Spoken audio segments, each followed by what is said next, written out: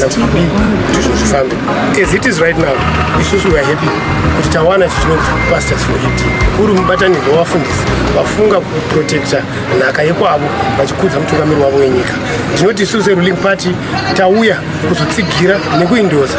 Kuti sepati yedu yezanupevu tinofamba nemapastors for it nekuti hondo ichirwiwa haina kurwiwa from one front. Vamwe vaibika vamwe vaigwari kufranti vamwe vaisupply zvavaisupply nazvo asi chinangwa chachiite kusunungura nyika.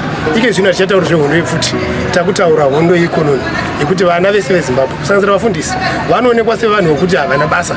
Kana tasvika panyaya yekushanda kwavo vanongonzi munhu wese unoenda kuchechi but they are leading people from various uh, political formations. And pacho patinonyanya kushuvira ndepekuti vafundisi vedu as political leaders tivarecognize tivasimudzire vawanikwe vachionekwa kuti mwari pachake ari kushanda mavari kutora nemabreakthroughs avo. So basically we are simply saying pastors for ed is a goal hatisi kumira and tiri kukurudzira kuti wese pastor asati ajoina ngasunure aone ukuenda